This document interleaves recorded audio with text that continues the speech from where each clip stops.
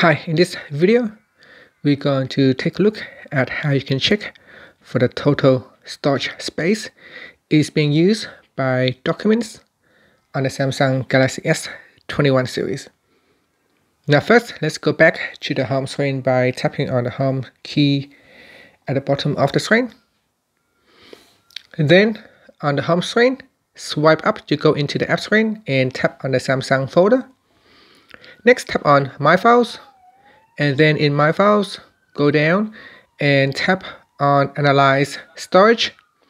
In here, you can see there is a summary of the total size uh, of documents that has been uh, uh, used up the storage space on your device.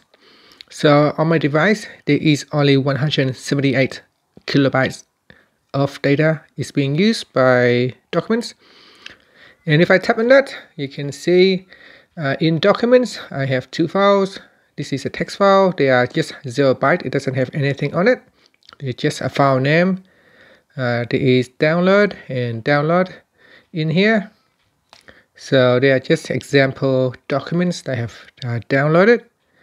And because I haven't downloaded anything on my device, that's why there is nothing in here.